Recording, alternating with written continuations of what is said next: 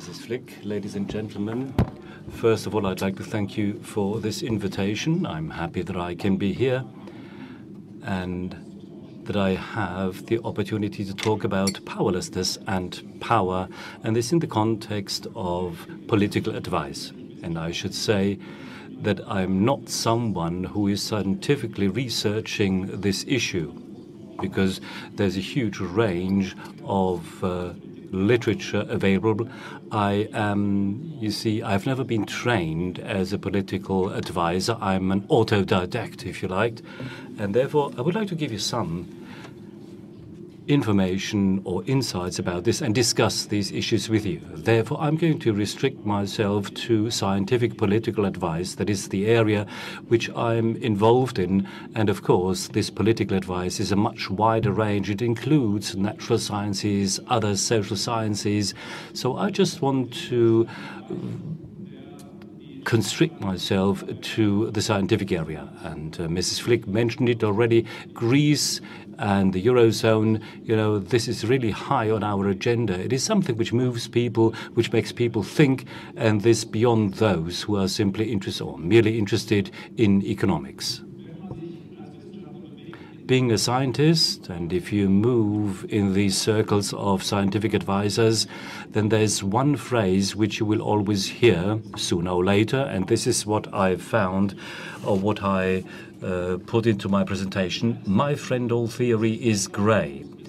Now, it means uh, that scientists do not understand the world and political advice is useless. Men and women of practice have to take things into their hands. Now, this is like the thesis of the power, powerlessness of uh, political advice. So it is the powerlessness on account of incapacity, of inability. So you really have to go to the practice in order to know that. Many probably know that this is a phrase or a quote from Faust, like many quotes in our language. But some of you may have forgotten who says this phrase. It's Mephisto, the devil.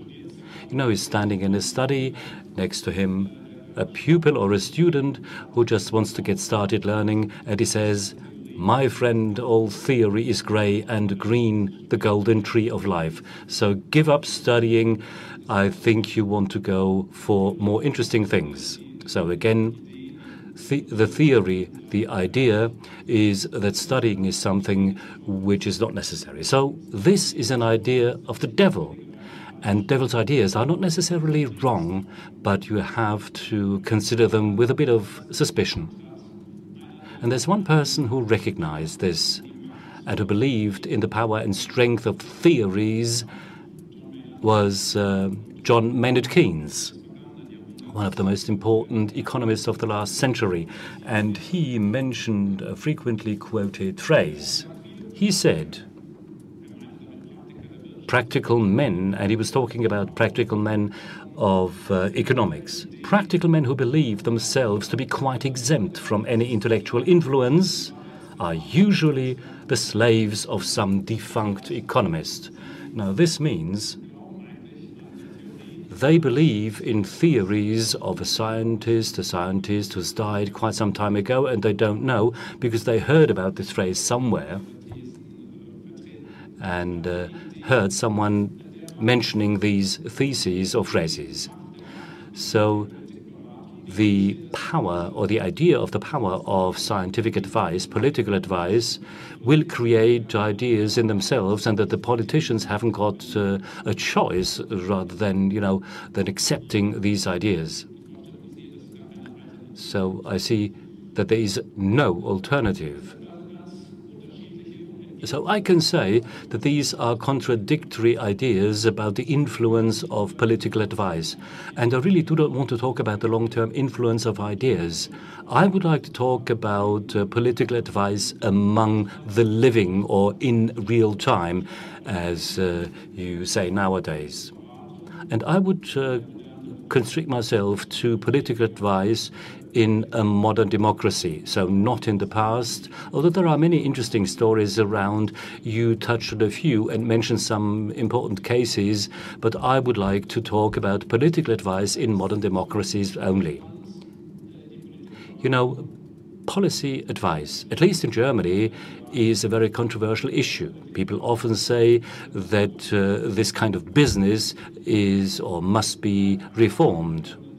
And I would like to discuss three questions. The first question is how does this uh, policy advice business work? The second question is does it make sure that policy moves in the right direction? And third, do we have to change the positioning of political advice. And you will probably remember that uh, the German Experts Council criticized a lot of things, and people, uh, the euro, and people said, okay, we should get rid of it. And of course, you might say, if the person receiving the advice does not uh, really hold in high esteem the person giving the advice, then what is the use of all this? And people often think of going to a doctor or going to a lawyer and you get some advice, but you really don't like this advice and you don't like the advisor either. And therefore, does it really make sense to get such an advice? I believe, yes, there is a sense, or it makes sense to offer this uh, advice and accept it. Often enough, it is uh, you know, such that I believe that this, uh, say, argument is an indication of the fact that uh, political advice in Germany really works. Or in other, in other words, I would be a bit concerned if we hadn't had any arguments about the different types of advice given.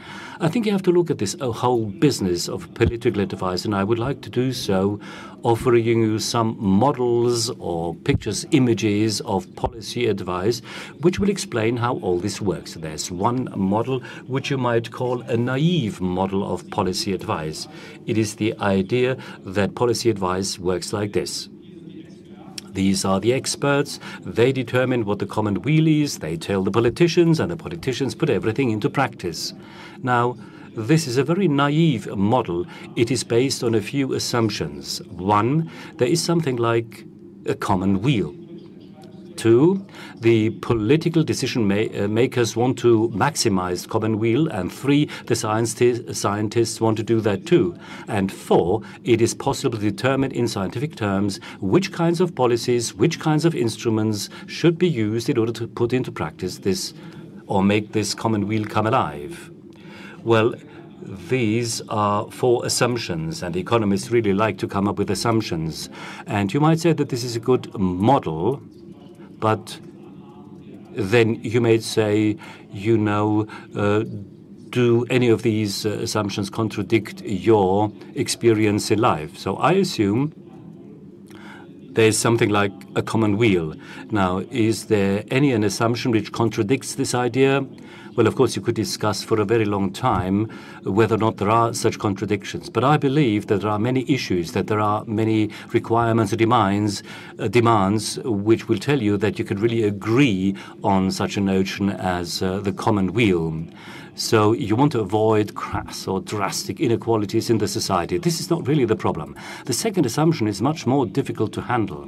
You know, the, the political decision makers really want to increase, improve the common weal for everyone. Now, if we have a vote in this room, those of uh, you who believe uh, that the decision makers really want this, you know, that they have a kind of approach in their policies that the common weal is to be improved, that I believe we will not have, say, um, an agreement in this room. And the other one is that, uh, see, policymakers are not worse and not better people than others. They've got their own, their own wishes, their own ideas, their own interests, and they really pursue these interests. And surely there are many politicians who are patriots, uh, but uh, you know these politicians also like to stay in power, and therefore they have to think of their own reputation, have to think about other things, and they know what ha- and you know what happens. You know, what does all this mean when talking about giving policy advice or political advice? You see, the first model really doesn't work. It is doomed to failure because policymakers do not really want to maximize the common weal. And the second assumption that the scientists want to maximize common weal. Here the situation is similar. There are scientists, nevertheless, they understand themselves to be people who want to improve the world these uh, that there is some kind of self-selection. People who are interested in politics will tend to take on jobs uh, which are like uh, the po political advisors, but then there are others who have got their own interests which they follow and pursue. Now, you can also say that scientists only want the best for the society and the policymakers do not want the best. You know, I uh, have seen this model in two variations. One, the variation of a personal discussion or talk. This is hardly dramatic. People often say so and maybe other advisors have the same idea. You know, Mr. Fuest, this is really horrible that the policymakers do not accept your advice. Aren't you frustrated? Well, I consider these questions as a kind of polite question, as politeness, but they are not necessarily taken or considered to be serious questions because I believe everyone understands that not each and every advice of a political advisor, although it might be an excellent scientist, has to be put into practice right away, because there might be reasons for handling things in a different manner. Now, the second variation is that there are scientists, advisors themselves, who pretend to believe in this model, who always complain that their advice is not being heard. And often enough, they say that this has to do with ignorant politicians.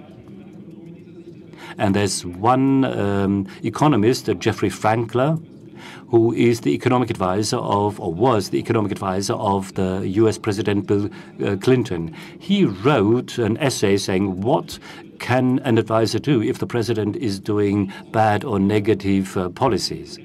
In his essay, he says, it really is an amazing coincidence if the president always follows the advice of his or her advisor. But the difference, and this is important, the position between the president and good uh, economics policy are very large when it comes to budget deficits, customs, agricultural subsidies, steel subsidies, and monetary policy. So here you see this is the advisor who wants to have good economics policy, and on the other side you will find a politician who is ignorant, who is unwilling to accept these wonderful pieces of advice. I can say for an economist, uh, it is inconsequential to assume that some people just uh, pursue their own interests, but the political advisors do not pursue their own interests. So why should an advisor uh, pursue to maximize the common weal?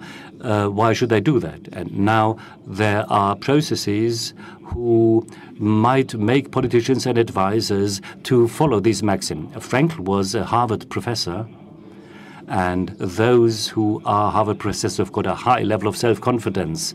You know, he was an expert, he was an advisor. He said that they always think about returning to the university, and then the colleagues are waiting for you. And those who haven't recommended good economics policy will uh, be unbearable for the university. So the colleagues will, you know, uh, unravel this person, will you know, lay open the weaknesses of this person. I don't know what you think about this idea, but at least, but at least this is what uh, Frankel wrote.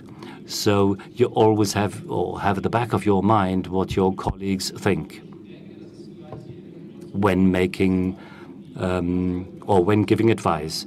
You know, what scientists say is important, and those who presents something which is untenable that will be criticized by his or her colleagues. I'm coming back to this issue. How can you make sure that politicians and scientists really act uh, with the common will in mind. But let me come to the fourth assumptions, which was that in scientific terms, you can find out how to improve the common will. Is that really true? Is that possible? I would like to give you an example and like to use an example which has got little to do with economics policy. I'm talking about the de death penalty. Is it, uh, you know, scaring people away from committing murders? You see, if it is not scaring people away, then an important argument for keeping it, it is no longer tenable. Of course, it can be against the death penalty, you know, then it is, for instance, uh, the fact that it reduces the number of murders. But I believe, you know, or you may say that this is part of, uh, say, criminology or other aspects. So it means that um, the death penalty is a deterrent, and this means uh, the murderers will always think about the costs because the costs when committing murders will increase uh, will be increased for the murderer, and therefore they might be deterred from from uh, committing these crimes. Now the. Gallen um, Frank Kirchgässner studied this in a meta study this means you look at studies about this or that issue or subject and try to find out what determines the results of these studies.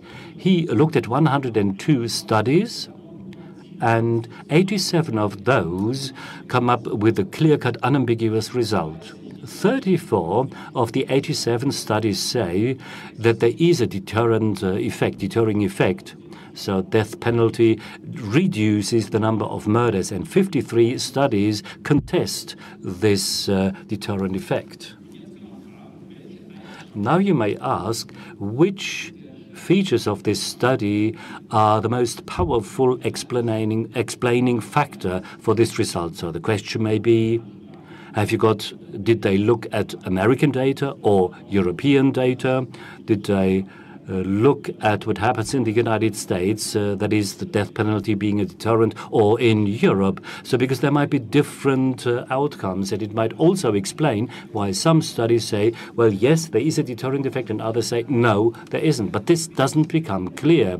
The most important explaining factor in this respect, or for the result, is that the death penalty is a deterrent, is whether or not an economist has conducted this study.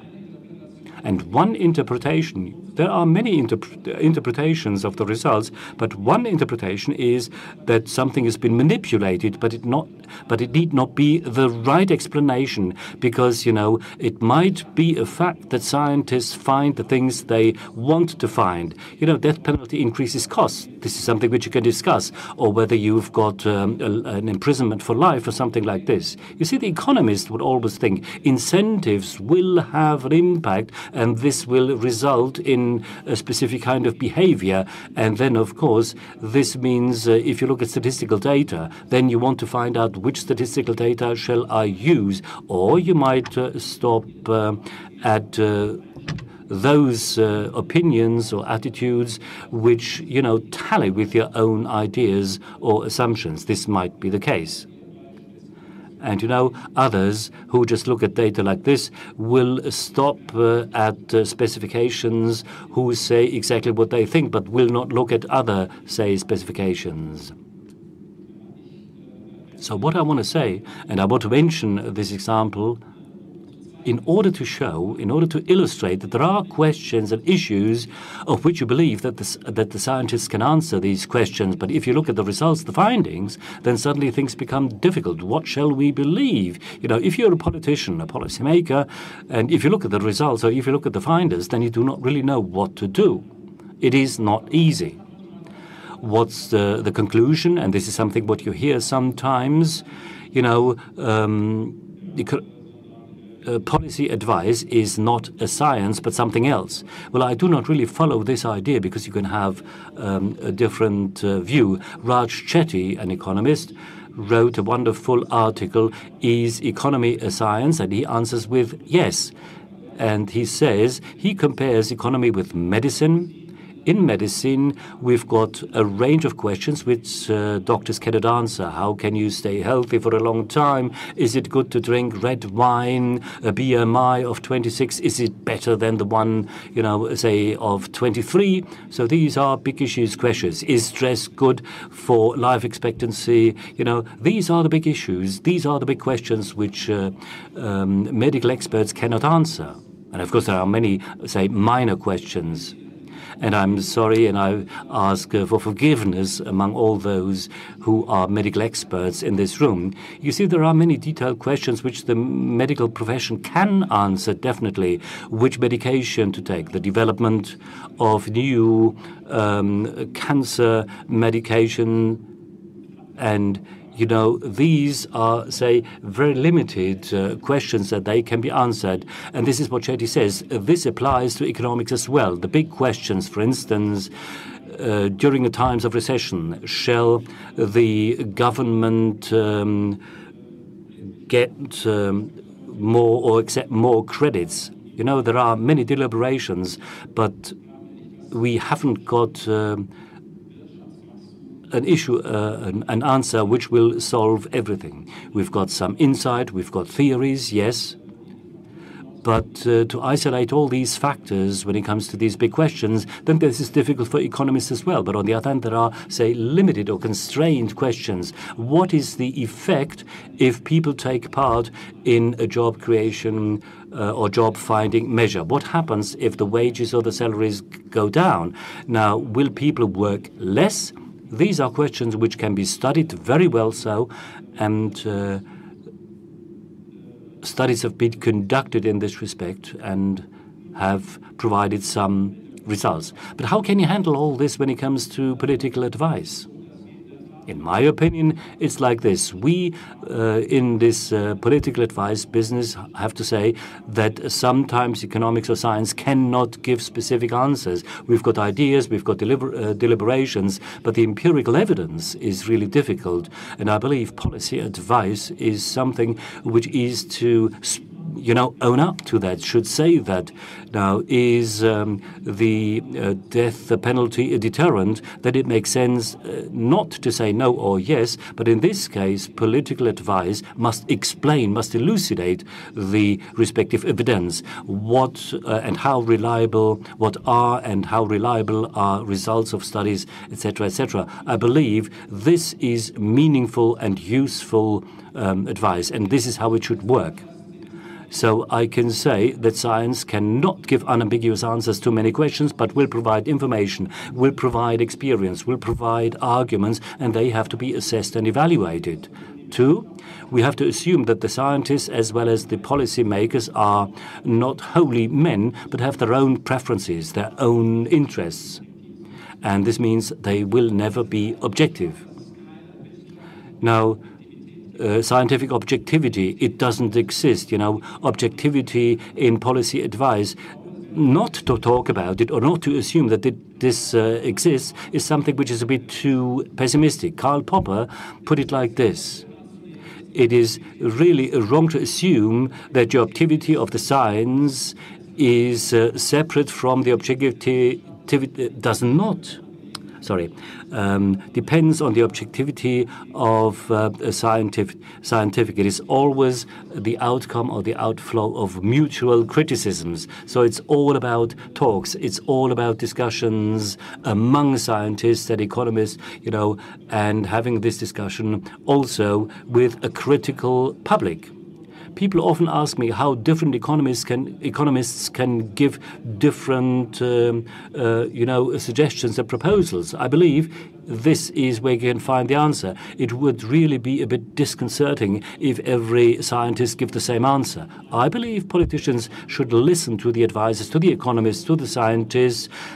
get this information and think about it because the economists and the scientists will never give, say, an unambiguous or just one um, answer. And they, you know, the scientists can never take away the decision making process as such from the politicians. And it should always be a decision because politicians are, say, legitimized in the democratic terms, not because they always take the right decisions. No, they are democratically legitimized, and of course, people will always make uh, make uh, mistakes. But this is the important step. You listen to advice, but then you have to assume the responsibility and take decisions. So similar like going to a doctor. If you've got a serious illness, then of course you will hear the first opinion, that is the first doctor, then you go to another doctor and hear another opinion, but nobody can take, can take away the responsibility on the part of the patient uh, to say, I trust this or that doctor.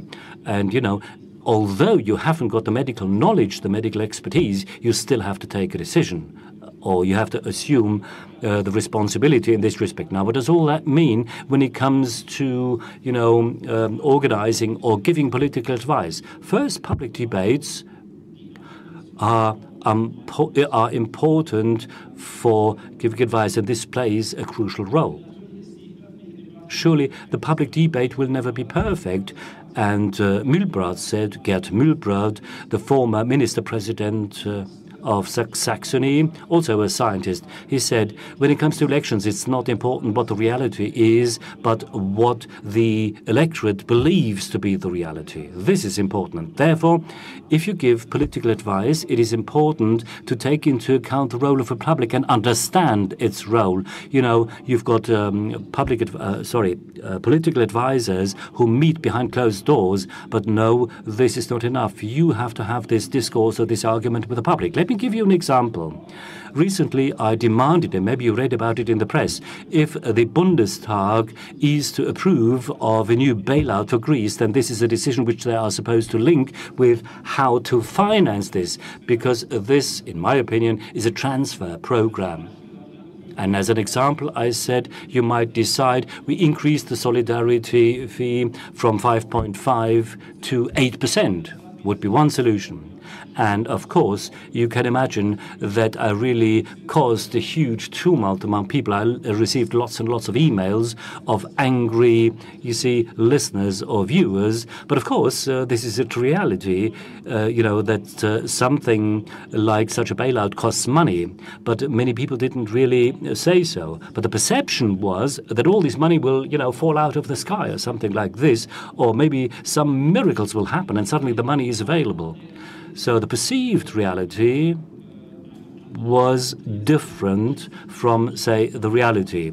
Now, this contribution might be considered as good or even failed or even non-existing, non-existent, uh, non-existent uh, policy advice, but at least it had an impact on the discussion. And I was grateful, uh, Mrs. Mrs. Flick, you mentioned that experts are to draw the attention to problems, and I'm very grateful for this quote. So I believe this is important. Draw the attention to problems. Well, ladies and gentlemen, I started with uh, Goethe, and I would like to finish with Schiller, but not with Friedrich Schiller, but with Karl Schiller. Karl Schiller is quite inter an interesting person he was because you know he's interesting because he was a scientist who went uh, into politics. This is another uh, issue, of course. Karl Schiller influenced the German economics policy in the 60s and the early 70s. Schiller was not a well-adjusted um, uh, type or guy. No, he was a brilliant mind. People you might be missing in today's politics. You might always say they're all boring, these politicians, you know, all these minds which we had in the past, like Wehner, Strauss, and I'm sure there are many others you can come up with in Austria in particular who you might be missing. You know, people talk about and write about Schiller. They say he was brilliant, but he was also vain and supercilious, supercilious and he was resistant to accepting advice. And he knew that. And Helmut Schmidt even had to so, feel this because Schiller said to him once, or I supposed to have said to him once, Helmut, I cannot explain it again because you didn't really understand when you attended one of my seminars. You know, Helmut Schmidt was uh, Karl Schiller's student, or one of Karl, uh, Karl Schiller's students. So uh, Karl Schiller was an extraordinary personality, and people often say that we need personalities like this. He said he was not a sample of an opportunistic uh, politician, and Hampel once said that there is no party line when it comes to economics policy. He was always thinking along the scientific lines. He was a professor, and sometimes, you know, he really wanted to put um, in order the parliamentary group. But then Karl Schiller had to resign. And in his valedictory letter, he said that the government has the duty to look beyond the fence of uh, party politics and say in due time what has to be done and what has to be demanded or requested. And I see it, many people today are saying, um, looking for, or rather yearning for such personalities. I can only say that, uh, in my opinion, we should not give political advice in such a way that we become, uh, say, dependent on personalities, brilliant personalities uh, like um, this one. Even the economics policy of Karl Schiller was certainly not above uh, any reproach, but you know, he followed ideas which you could not represent today, or which you could not put into practice today. What we need, we need excellent scientists in our political advice work. We need excellent uh, control of the scientists. We need an understandable, comprehensible uh, communication, and we also need a discourse, a, discussion, and even a competition of ideas in the public. And this means dissent should not be considered to be a negative aspect of this discussion. I, I, I, I want to say it is good that uh, people attacked this experts' council. This is good. And even among Louis XIV, you know, the, the chairman of such an experts' uh, council would have been beheaded, but this is not possible today. But you know, we or in the media we had a huge debate about politics. You know, would uh, not behead people, of course, but uh, maybe they would have liked to replace people, but they didn't dare to replace people. They didn't have the courage because otherwise other people would really have been upset and irritated. You see, sometimes democracy really works. We need dissent. We need an exciting debate and discussion. So I say theory is not grey. Uh, policy advice has got the power which it needs particularly contributions coming from the political advisors leading to a discussion in the public, then I believe policy advice really works. In Germany, we do not need more conformism, but we need, uh, say, fruit bearing dissent. So the best guardian of uh, the well being is, um, say, uh, a divided public which, uh, of course, should have a certain level. Thank you very much.